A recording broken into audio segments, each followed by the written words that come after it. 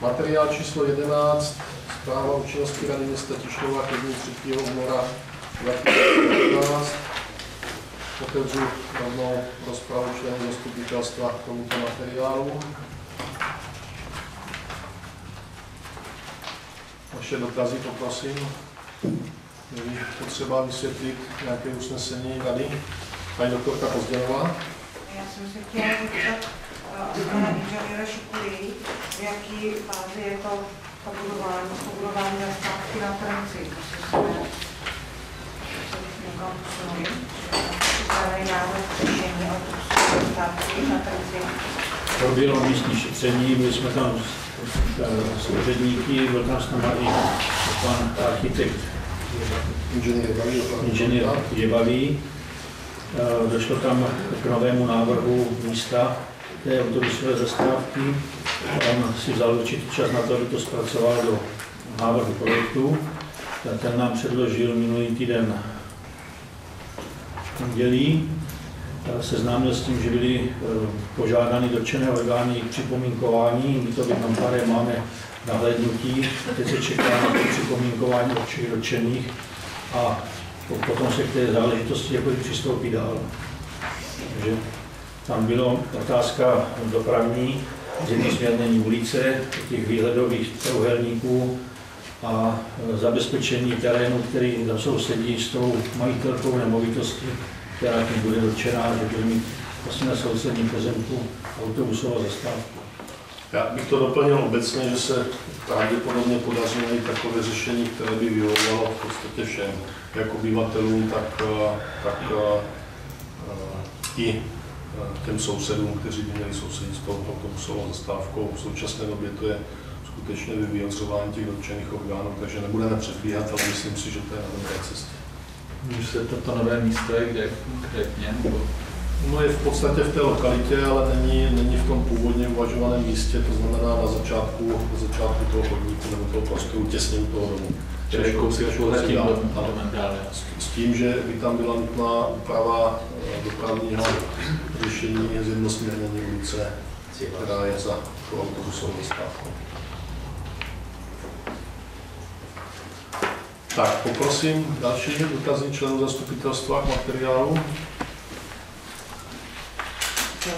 Paní Bazomáta. bod 28, my jsme, to je zpráva o stavu elektroinstalace eh, na náměstí, na straně 18, náměstí Komenského 145. My jsme tady o tom na minulém, nebo eh, na tom před měsícem zastupitelstvu velmi diskutovali o tom bytě, jaký je teda výsledek té revizní zprávy. Já poprosím paní inženýrku Jelínkovou.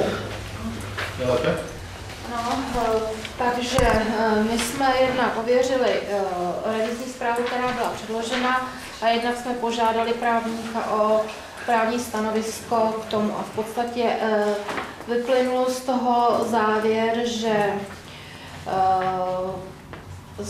jo, ještě jsme to projednávali s pojišťovacím makléřem, jak by to bylo, kdyby se tam něco událo. Takže pojišťovací makléř nám potvrdil, že v případě, že nájemník eh, předložil revizi, tak veškerou odpovědnost nese revizní technik, který potvrdil revizní zprávu. Eh, Co se týká vstupu do eh, bytu, to nový občanský zákonník neřeší a v podstatě v případě, že tam chceme dělat eh, úpravy takové, které eh, nějakým způsobem ovlivní eh, užívání toho bytu. Nejsou to drobné, ale v podstatě zasahujeme tam eh, do, do stěn, eh, tak můžeme tyto úpravy provést pouze se souhlasem uživatele. On nám ten souhlas nedal, takže my nemůžeme nějakým způsobem vymáhat vstup do bytu. Pouze pokud by tam hrozily prostě nějaké škody na majetku nebo na životech. A to nehrozilo, protože revizní zpráva byla předložena a byla v pořádku. To byl můj dotaz, jestli revizní technik eh, Ano. sdělil, že to zařízení je schopno bezpečného provozu. Ano. Děkuji. Děkuji za dotaz a vysvětlení. Další dotazy členů zastupitelstva? Paní inženýrka Já Knoflíčková. se zeptám bod 21, žádost o povolení provozování prodejních trhů v Tišnově, jestli se uvažuje o tom, že bychom to nějak rozšířili, tedy místo soboty i třeba ve středu nebo podobně, jestli něco takového. Poprosím o reakci asi pana inženýra Drhlíka.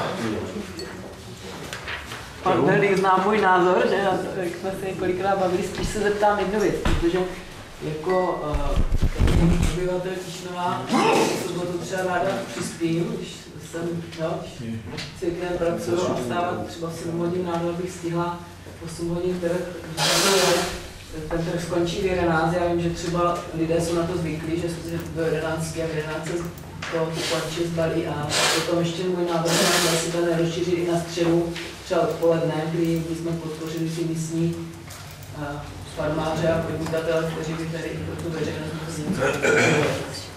No, Můžeme se pobavit i s těmi prodejci, jsme myslím, že v týdnu oni mají plné ruce práce a ten víkend eh, prodávají jezdí po těch trzích, nejezdí jenom po Tišnově, Eh, využívají takzvaného bedinkového systému prodeje, teď myslím vyloženě ty zelináře. A jinak té otázce zatím neuvažujeme, od vedení jsem neslyšel žádný takový podnět, eh, že by se rozšířil na další dny, jako ta sobota. Vlastně se těší docela velkému ohlasu, na čím dál více i prodejců, takže to nevypadá, je to, je to na diskuzi, se to rozšíří. Bereme to jako podnět, promyslíme, vidíme. Víc, co si k tomu v tuhle chvilku neřekneme. Děkuji. Paní inženýrka Já ještě, Brzobota. to tady zaznělo, tak opravdu v Tišnově funguje eh, systém komunitně podporovaného zemědělce už třetím rokem, takže pro případné zájemce můžou se do systému přidat. Díky. Další dotazy členů zastupitelstva jsou-li? Ano, teda prosím. Zeptám uh, ukončení té činnosti nebo pracovního poměru pana Ždánského, protože tam dělali nějaké sportovce, jak jsme komunikovali, takže spíš možná důvod, proč to nás Jo. Pokud jde o ukončení pracovního poměru pana Ždánského, mé strany stručný komentář. My jsme na úrovni vedení města samozřejmě po volbách diskutovali se všemi vedoucími pracovníky úřadu i s řediteli příspěvkových organizací. Eh, Jednali jsme o jejich působení dosavadním, jednali jsme o jejich působení budoucím. Eh, Připravovali jsme rozpočet s řediteli příspěvkových organizací a je pravdou, že koncem ledna na jednom takovém jednání s panem ředitelem Ždánským byla výstupem eh, jeho, bylo výstupem jeho ukončení pracovního poměru. Mm, My jsme se s panem ředitelem na základě jeho žádosti dohodli, že eh, důvody a obsah toho našeho jednání nebudeme prezentovat na veřejnosti. Bylo to přání pana ředitele a my ho respektujeme. Takže pokud jde o důvody, rád bych pohovořil, ale s tím přání pana ředitele. Jinak my jsme o všech personálních organizačních změnách informovali veřejnosti skvělou zprávou a pokud jde o pana ředitele Ždánského, tak jsme vyslovili i poděkování za jeho dosavadní činnost. Považuji tu kapitolu za uzavřenou. Další dotazy z členů zastupitelstva, materiálu zpráva o činnosti rady paní Knechtová. No, jenom to straně 8, to usnesení 27 32 2014. Samozřejmě došlo k administrativní chybě, protože ta obec v našem ORP není Kouřinská nová ale Kouřinská nová. Jo, jenom Ano, děkujeme za postřeh. Paní tajemnice si jedná nápravu. Ano, občas nám to eh, opravuje místo mateřská škola Uhum Polkina, takže Uhum Poláka a podobné věci, takže nevídáme, ale jak eh, už tady zaznělo, to množství materiálu může se stát, omlouváme se za chybu a napravíme. Je to důkazem toho, že bedlivě studujete tak materiály. to se týká sociální Tak oblasti, vám děkuji. Tak. Další dotazy členů zastupitelstva? Příště záměrně provedeme jednu gramatickou chybu na těch 19 stránkách, budeme čekat, kdo z vás je. Tak, pan Hamak, se hlasíme, Zdeněk Kunický, pardon. Eh, Tak já jenom mám strana 11 bod 17, eh, tady uzavření smlouvy o dílo provoz a údržba veřejného osvětlení Tišnově. Dále to firma ICOM bylo soutěženo a ještě zeptám se jak a na jak dlouho. Poprosím asi pana inženýra Darlíka s odpovědí. Můžu? Jo. Je to stejně jako to bylo v minulém eh, období na dva roky. Eh, Soutěžilo se eh, klasicky elektronickou aukcí, možná paní Jelinková tam byla blíže, takže byla možnost de facto komukoliv se přihlásit do výběrového řízení. A tak také proběhlo a vlastně vyhrála místní firma, což je určitě dobře že ty, eh, ty zkušenosti nebo ta spolupráce už je dlouhodobější a znalost terénu. Čili vysoutěženo elektronickou akcí a e, doba, na kterou je uzavřena smlouva, dva roky. Dva roky. Či do konce roku 2016. No. Děkuju. Další. Paní ještě doplň. Já bych jenom doplnila, že eh, firma Ecom byla na druhém místě, ale vítězná firma odstoupila od uzavření smlouvy. Eh, Myslím si, že v rámci elektronické aukce podlehla herní vášni a odhodila natolik, že nebyla schopná pak ten závazek naplnit. Byla to pražská firma. A eh, proto bylo přistoupeno k uzavření smlouvy s druhým pořadí, ale ta cena eh, pro nás nebyla tak výhodná, takže tam došlo ještě k osobnímu jednání a ke snížení té ceny. Děkuji za doplnění. Další dotazy za členů zastupitelstva, paní Ženevka Já se ještě zeptám jenom bod 22 odpis pohledávky paní Vikárová, jenom zase možná zeptám špatně, to nepřichází na nikoho jiného z rodiny. Poprosím stranu. Na- jaké straně? Na jaké straně? Paní Ženevko. Strana 17, 20, eh, 22. že jestli to můžu říct, tak eh, ta pohledávka do dětického řízení, eh, ale protože paní eh, Bikárová vlastně jakoby eh, nic, u paní Bikárové nebylo co dědit, tak se všichni dědic, v dědickém řízení vstali a tím pádem není, na koho by ta pohledávka přešla. To znamená, když se zdají plusu, tak se zdají minusu, a v tomto případě ale žádné plusy nebyly. Děkuji za vysvětlení. Ještě se zeptám členů zastupitelstva, má nějakou otázku? Nevidím. Děkuji, končuji tedy rozpravu. Zeptám se veřejnosti. Pan Blaha, prosím. Já to mám trochu víc, já bych se chtěl zeptat. Já to mám sice podporama, ale to je jedno.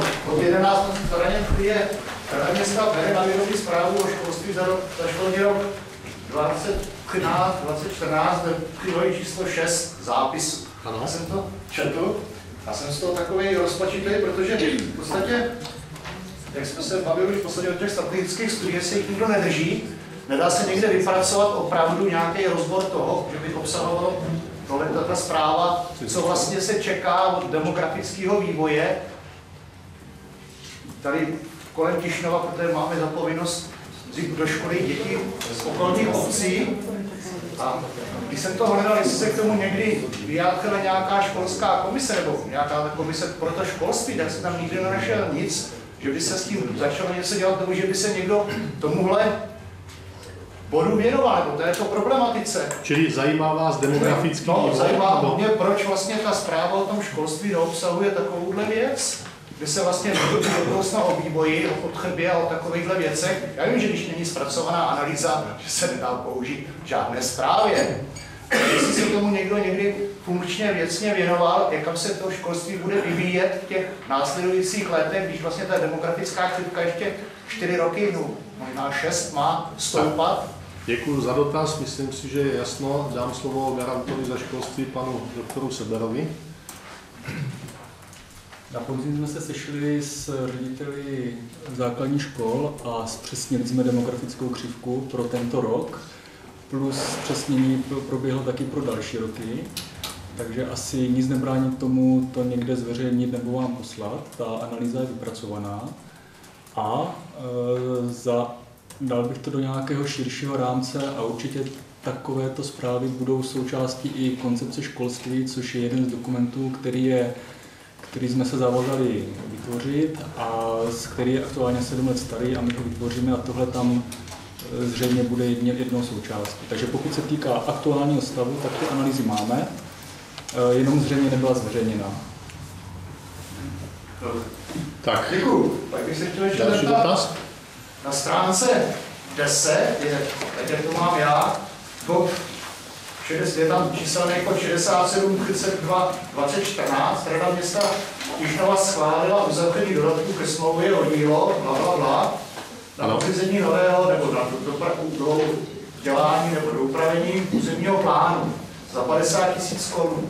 Vás, 50 tisíc korun je takový lehký dopsání. Je někde návrh, co se s tím územním plánem bude dělat, těch 50 tisíc stačí akorát tak na pár stránek. Míníte někde udělat tu chádně? Já poprosím paní inženýrku Doležalovou o reakci na dotaz. No, eh, těch 50 tisíc korun, to vlastně bylo v dodatku, který se teďka zpracovává ta, eh, to vyhodnocení vlivu eh, na ten krajinný ráz, to preventivní hodnocení. A, no, protože jsme, prosím? To už se utratilo. Ano, a teďka pak se musel dělat dodatek na úpravu, na úpravu toho územního plánu.